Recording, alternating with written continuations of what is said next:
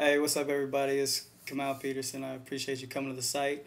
Um, this is the first edition of me with a, a live web blog, and uh, uh, may be a constant feature for me if I can get it working. But a couple things I wanted to touch on. I'm here the night before in uh, in Regina. We got the Roughriders tomorrow, and uh, we need to get back on track like everybody who's on the site knows. I'm sure you guys are all Eskimo fans, and we really appreciate your support uh, now more than ever. But I think we're going to get back on track tomorrow. Some of the things we'll be doing to do that, we're going to you know attack the attack the quick game more, see if we can get Ricky in the rhythm, and uh, get the ball in, in some of our playmakers' hands a little bit earlier. I think that'll help get our offense off and moving.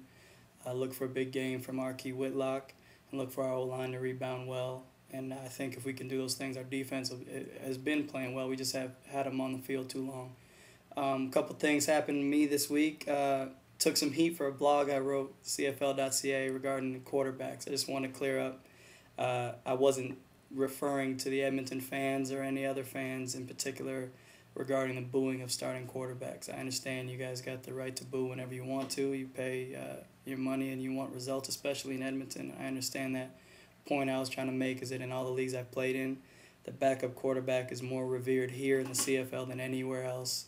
Um, it just seems like he's really the most popular player in the league and uh, in the team, and that was just something I was making note of. So again, don't be offended by that. Everybody's got opinions, and look for my next blog this uh, probably Wednesday or Thursday, or check on my blogs um, on my site here at, at greatgrab.com. Um, other than that, anybody who can go out there and vote for me on that ReebokFootball.ca. Vote for my move. I'm losing to a linebacker, which is crazy to me. But uh, apparently, uh, you know, Saskatchewan and Winnipeg fans are out in full force and they're voting for anybody but Edmonton. So, uh, all you Eskimo fans out there, if you get time, go ahead and, and vote for that move. I, I don't know if I'll ever be able to duplicate a catch like that. So, if I, if I ever got a chance to win, it's now again, thanks for all your support, and uh, hopefully see you next week. Hopefully with a win under our belt.